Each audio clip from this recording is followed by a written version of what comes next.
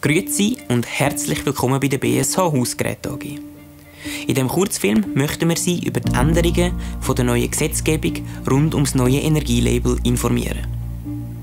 Vor rund 25 Jahren sind die ersten Energielabel eingeführt worden.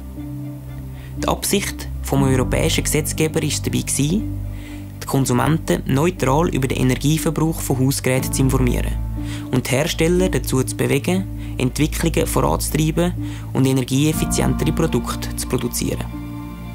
Vor rund 10 Jahren hat man die Energieeffizienzklasse A+, A++ und A++ ergänzt.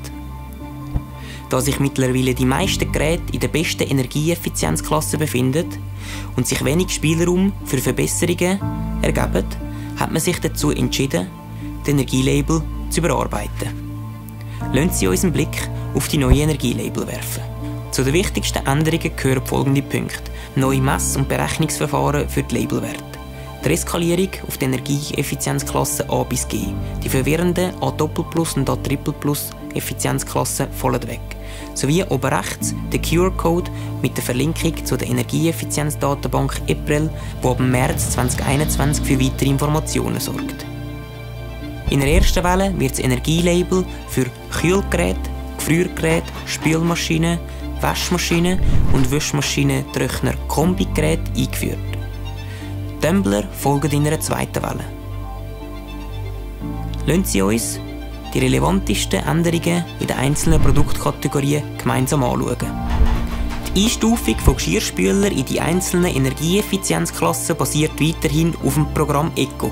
Neu wird neben dem Energieverbrauch vom ECO-Programm gemessen auf 100 Zyklen auch die Dauer vom Spülprogramm angegeben. Für die Ermittlung der Energieeffizienzklassen von Kühl- und Gefriergeräten gelten umfassendere Kriterien und Messverfahren. Das Label liefert Informationen zum Gesamtnutzinhalt von allen Kühl- und Gefrierfächern sowie zu den Geräuschemissionen. Eine schweizspezifische Restriktion gilt es dabei noch zu erwähnen. In der EU ist die Mindestanforderung für Kühl- und Gefriergeräte die Energieeffizienzklasse F. In der Schweiz ist sie jedoch die höhere Energieeffizienzklasse E. Mit Ausnahme von Wein, Lagerschränken und einteuerige Kühlgeräte mit Gefrierfach. Dort gelten andere Grenzwerte. Der Labelwert für den Energieverbrauch und Programmdauer bei Wäschmaschinen ist wie bei Spülgeräten auf Basis von 100 Wäschzyklen und einem Labelprogramm festgelegt.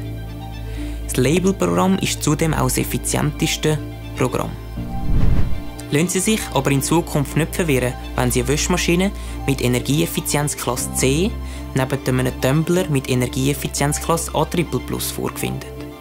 Denn wie bereits anfangs gesagt, sind Tumbler vom Energielabelwechsel nicht betroffen.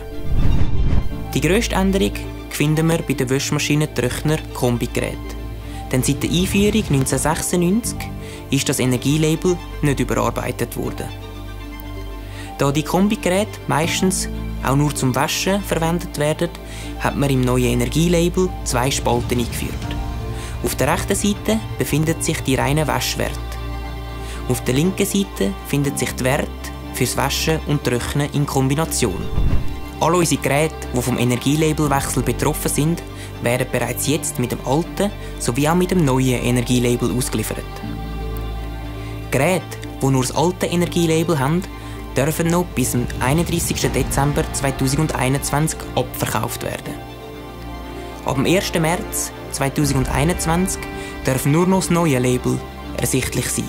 Auf der Webseite, in den Showrooms oder in den Prospekt. Haben Sie weitere Fragen rund ums Thema Energielabel, stehen wir Ihnen gerne zur Verfügung. Besten Dank für Ihre Aufmerksamkeit.